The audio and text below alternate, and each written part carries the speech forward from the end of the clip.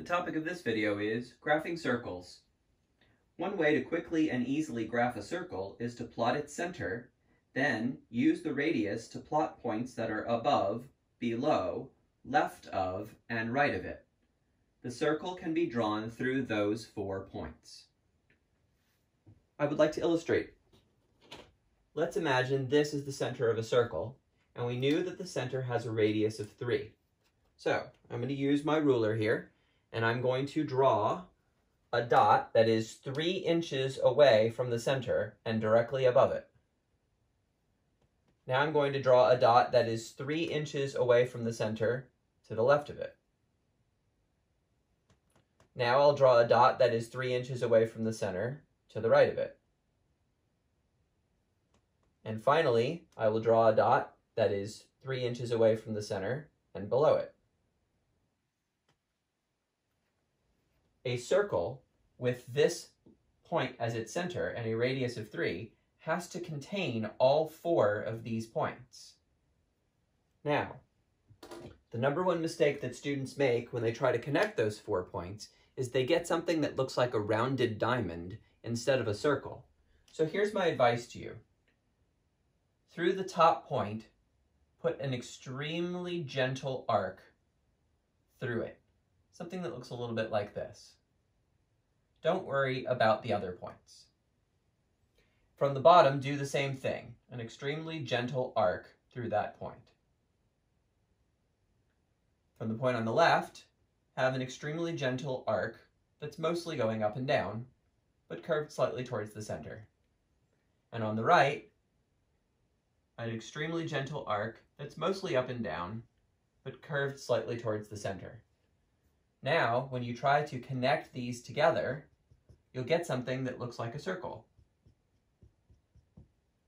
Notice that I'm using a sketching approach.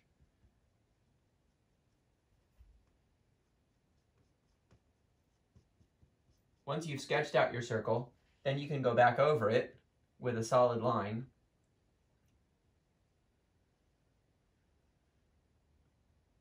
to create your final picture. So we've now created the graph of a circle whose center is shown and whose radius is provided, 3. Okay, let's apply this to a mathematical problem. Write the standard form equation of a circle with radius 5 and center negative 3, negative 4. Okay, great. So First, we need to come up with the equation of the circle in standard form. Let's write the standard form equation. It looks like this.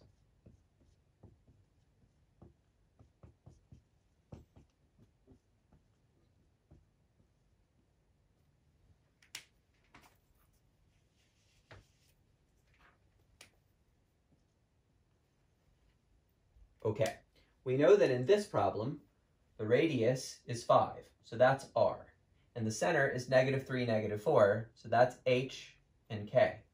So if we replace those variables in our equation with their respective values, we would get x subtract negative 3, y subtract negative 4, and 5 squared.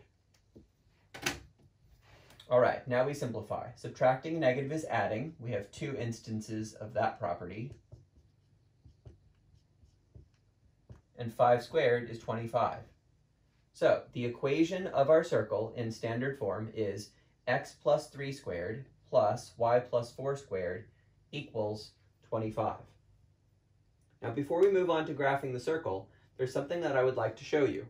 It's my hope that you will get so good at this skill that you'll be able to do all of this algebra in your head as a single action. Let me give you an idea of what I'm talking about.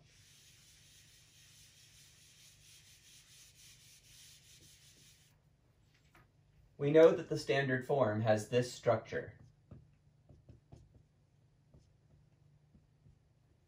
And we know that there's a number here and here. By the opposite rule, that number needs to be the opposite of the center provided. So instead of negative 3, we write plus 3, and instead of negative 4, we provide plus 4. we know that the standard form equation of a circle ends in r squared. So if r is 5, 5 squared must be 25.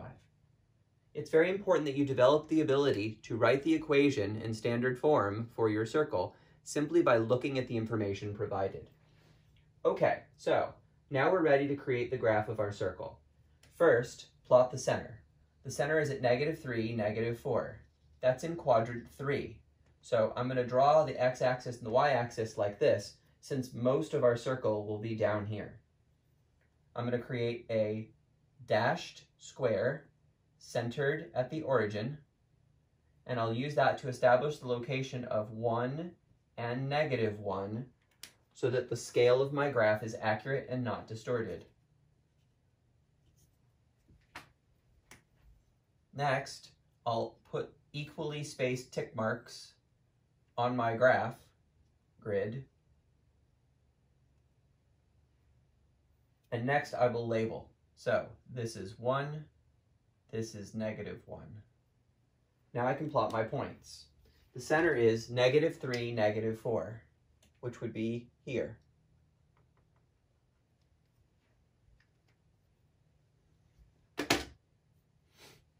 The radius is 5, which means that I need to start at my center and I need to go up, down, left, and right five steps. Remember, this is r squared. r is 5.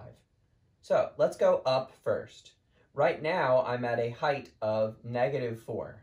When I go up 5, I should end up at 1, but let's count it anyway. One step, two steps, three steps, four steps, which puts me directly on top of the x-axis, five steps. And indeed, I end up at a height of 1.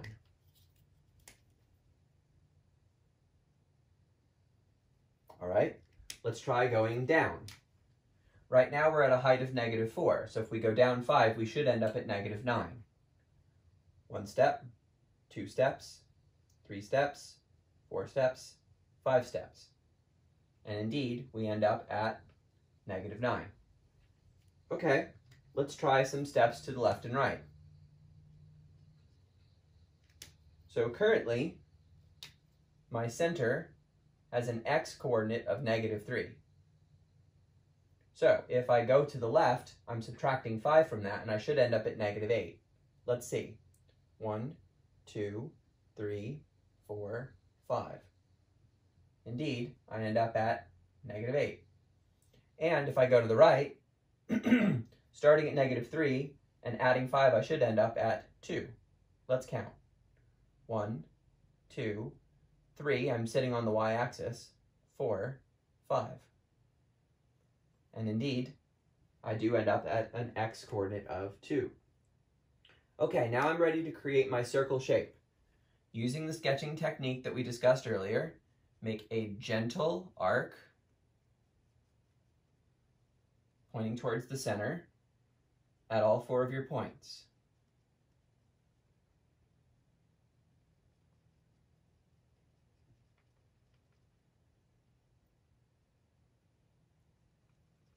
Once you've done that, then try to connect them together to form your circle.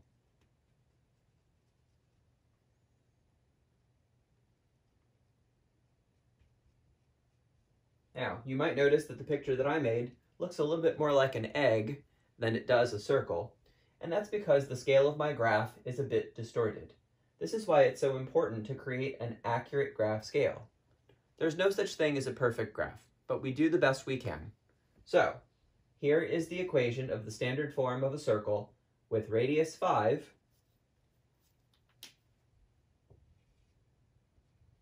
and center at coordinates negative 3, negative 4.